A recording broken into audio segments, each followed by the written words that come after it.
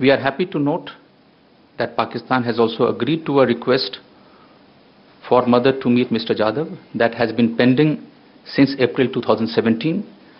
Pakistan government has also assured that it would ensure safety, security and well-being of the wife and the mother during their stay in Pakistan. They have also agreed that an Indian diplomat will be allowed to accompany um, the mother and the wife. Uh, as you might have seen, uh, just a while ago, EAM has spoken uh, to the mother. She has tweeted about it.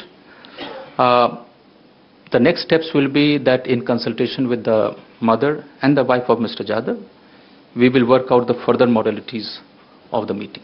The MEA briefing very clear that uh, uh, the demands of the Indian government have been met, the safety has been guaranteed and that there will be there will be somebody who will be accompanying uh, an Indian diplomat will be accompanying both the kin uh, of uh, Kulbhushan Jadhav they will be working out some of the further modalities. Now this entire uh, trip is likely somewhere around the 25th of December we are given to understand.